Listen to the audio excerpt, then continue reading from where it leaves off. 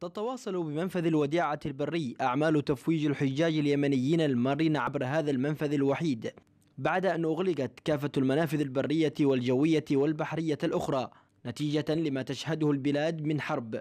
ولأنه الممر الوحيد سعت الفرق التابعة لبعض المنظمات المحلية إلى تفويج الحجاج وتوفير كافة الخدمات بالمنفذ لعل أبرزها الخدمات الصحية. ونحن بحمد الله في أمور الصحة يعني جاهزين متجهزين بكل لكل الحالات الطارئة والحالات العادية من عندنا من العيادات ومن الدكاترة ومن الفحوصات المخبرية.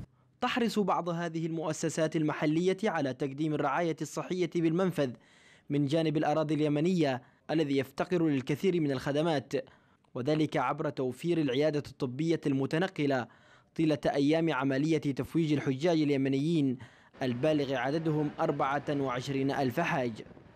نحن في مؤسسة العون للتنمية ساهمنا في العيادة المتنقلة. آه، هذه العيادة تقدم خدمات آه، آه، خلال عامها لكن هذا العام تشرفت بأن تكون في مخيم وتفويج حجاج بيت الله الحرام. وإن شاء الله نتمنى لكل حجاج بيت الله الحرام أن يعودوا أن يؤدوا مناسكهم بأكمل وجه.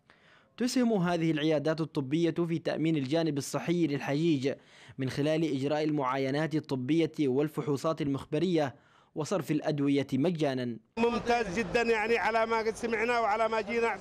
أحسن من السنة الأولى وذي قبلها. يعني الحمد لله والأمور متنظمة هذا المرة بشكل فظيع. وخدمات جيدة والحمد لله.